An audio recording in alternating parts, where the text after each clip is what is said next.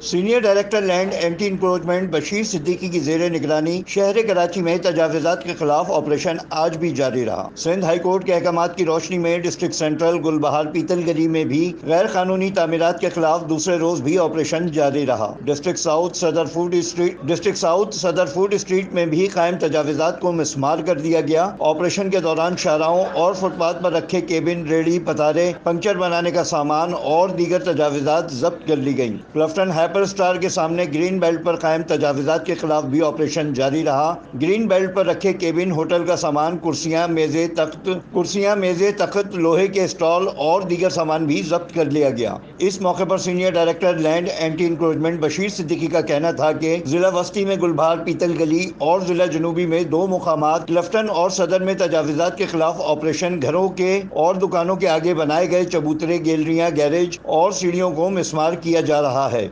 District central में आज हमारा दूसरा दिन है। हाई कोर्ट के ऑर्डर पे पीतल गली गुलबहार के अंदर जो है, वो लोगों ने अपने घरों और दुकानों के आगे जो है, मुख्तलिफ़ किस्म के चबूतरे, गैलरी, गैराज और सीढ़ियाँ मुख्तलिफ़ किस्म की तजावत को घरों और दुकानों से आगे बढ़ाया हुआ था जिसको आज दूसरे दिन है, सबको मसमार किया जा रहा है। और ये मसमारी का जो ऑर्डर्स हैं, वो हाई कोर्ट की जानब से है और ये हमारे दूसरे दिन है इनका, इस कार्रवाई के ऊपर। मुख्तलिफ़ किस्म की तजावजात को ख़त्म की जा रहा है। बिल्कुल इसी तरीके से डिस्ट्रिक्ट साउथ में दो मकाम पे सदर में और क्लिफ्टन पे। हाइपर स्टार के सामने जो क्लिफ्टन पे है, वहाँ पे होटलिंग के सामने ग्रीन बेल्ट पर जो है, जो भी होटल का सामान था, तख्त वगैरह और मुख्तलिफ़ किस्म की तजावजात थी, उनको जब्त की जा रही बिल्कुल इसी तरीके से सदर के अंदर।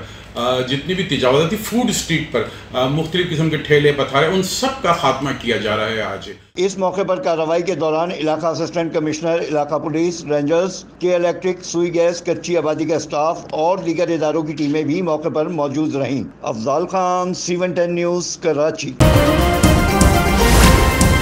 C one ten news खबर की असल खबर।